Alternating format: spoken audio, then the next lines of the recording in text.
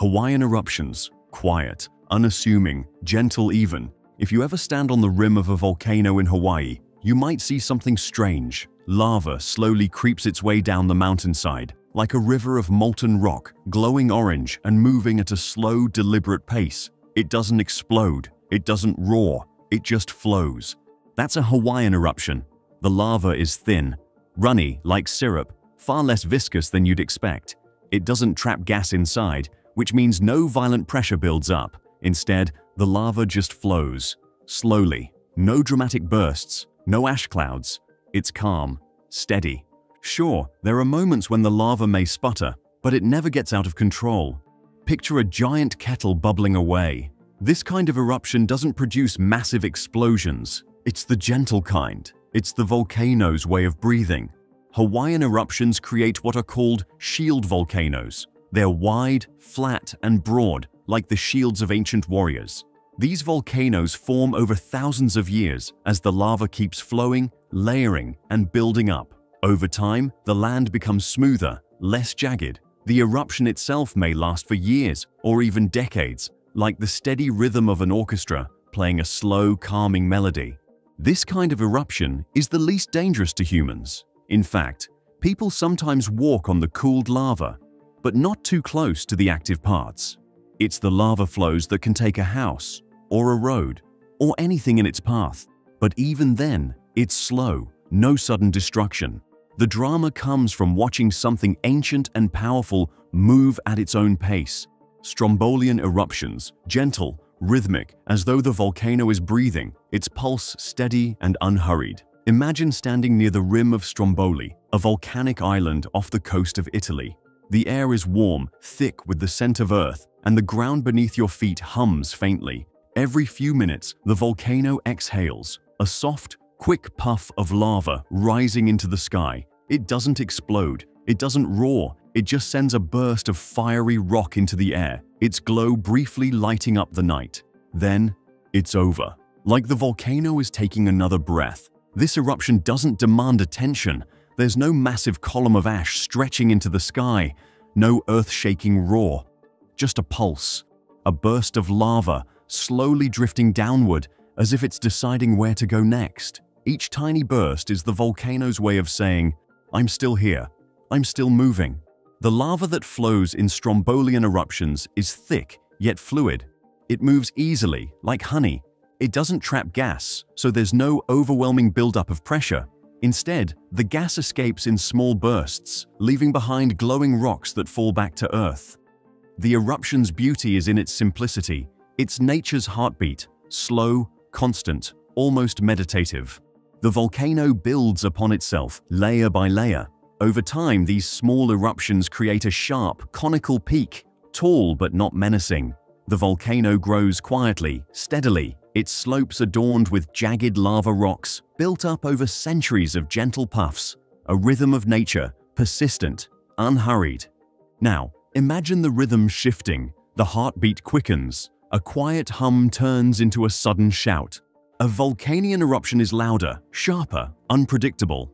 The magma beneath the Earth's crust doesn't always flow easily. Sometimes it becomes thicker, more reluctant to move. It traps gas, gas that doesn't escape until the pressure becomes unbearable. The result? A sharp, violent blast. The volcano roars, the sky darkens as dense clouds of ash shoot upward, propelled by the force of trapped gas. It doesn't happen slowly. There's no gentleness here, just sudden explosions, surprising in their violence. These eruptions feel urgent.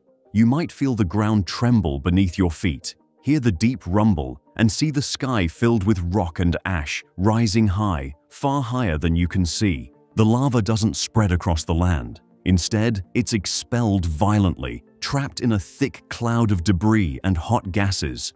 The eruption feels almost alive, unpredictable.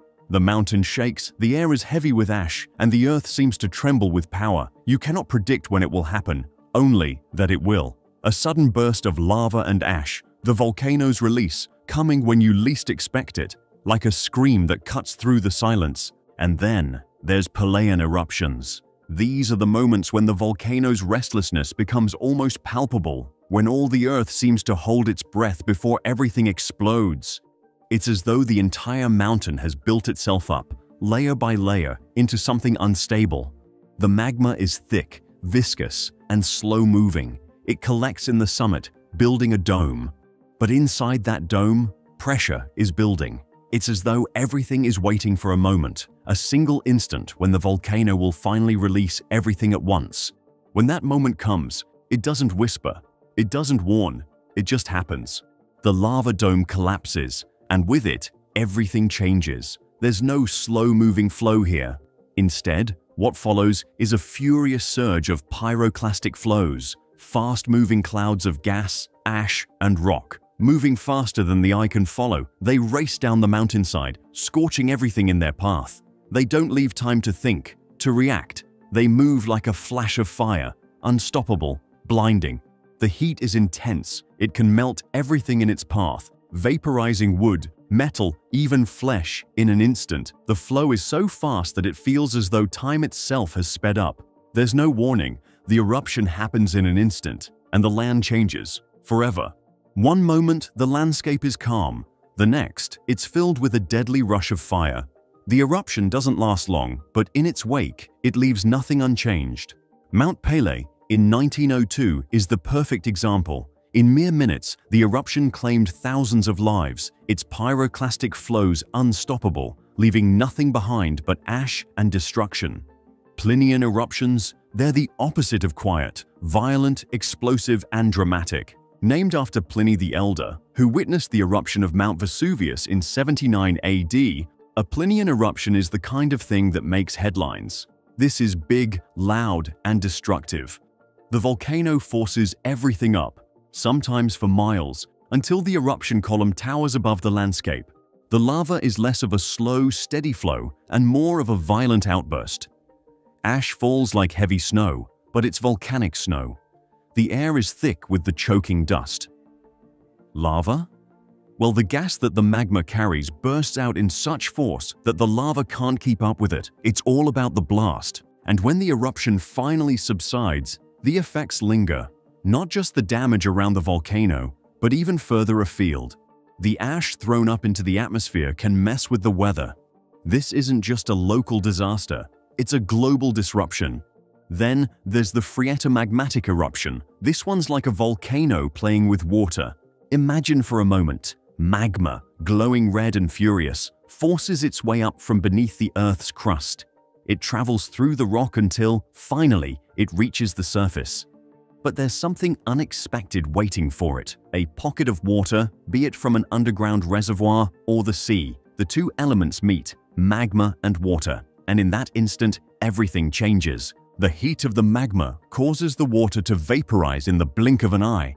Instantly, it turns into steam. But the steam doesn't just rise calmly.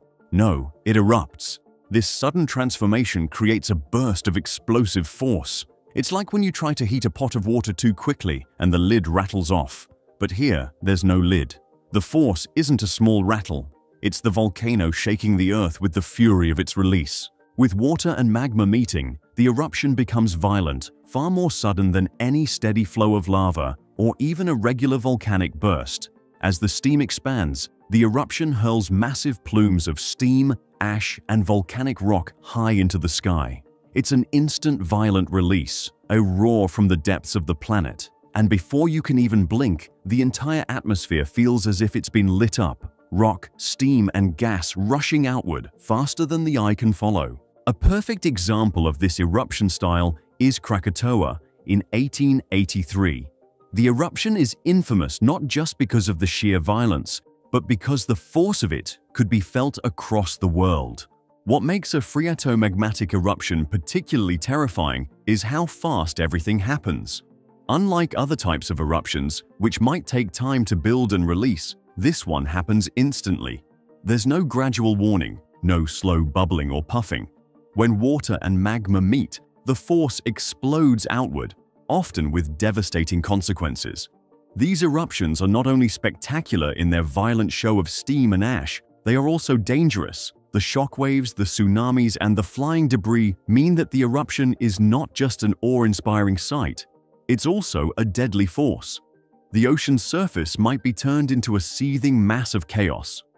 Coastal communities that are miles away from the volcano can find themselves facing the wrath of the sea as the very water they rely on becomes the harbinger of destruction. When this type of eruption happens, it's not the volcano just breathing out, it's the whole planet getting a wake-up call. Let's move on to the fissure eruption. Now, this one's a little different. Instead of a big, singular bang, it's like a slow crack opening up in the Earth's skin. The volcano doesn't just erupt from a single point. No, the fissure opens along a long crack in the ground. Magma pushes through this crack, flowing out in a wide, steady stream. It's like the Earth is cracking open, not in an explosion, but in a slow, powerful release. What's interesting about fissure eruptions is that they're not over in a moment. They last. They can stretch on for months, sometimes even years. The magma flows out, covering the land, reshaping it bit by bit. Hawaii's Kilauea is known for this. When a fissure eruption happens, lava doesn't just burst up. Instead, it pours out, like a river of molten rock slowly making its way down the volcano's slopes. It might not explode violently, but it's a force to reckon with. It covers everything in its path. It's not as explosive as a Plinian eruption, but don't be fooled. This kind of eruption is relentless. The lava builds up over time, turning the landscape into something entirely new. The eruption is patient, but it gets the job done. Now, we come to lava domes. These ones are a little subtler. The volcano doesn't explode. It doesn't pour lava down the side of the mountain like in a fissure eruption. Instead, the lava builds up, slow and steady, like a dome growing out of the earth itself. The lava is thick, more like sticky molasses than flowing syrup. It doesn't go far, it doesn't need to. Instead, it piles up right where it bursts out of the volcano. Slowly, layer by layer, the lava creates a steep dome. But don't mistake this for peace. The lava may be slow-moving, but it can still be dangerous. Over time, the dome becomes unstable. As more lava piles on top, pressure builds. And when that pressure becomes too much, the dome can collapse in a surge of pyroclastic flow, hot gas, ash, and rocks racing down the slopes. Mount St. Helens is a great example of how a lava dome can shape itself after an initial eruption. The dome inside the crater grew slowly but steadily. It wasn't as catastrophic as other eruptions, but it still altered the landscape. It showed that even slow eruptions can have dangerous consequences. With lava domes, it's not the speed of the eruption that gets you, it's the quiet buildup. The volcano doesn't scream, it just grows. And when it finally bursts, you're caught off guard. If you like this video, subscribe to our channel and don't forget to give it a thumbs up.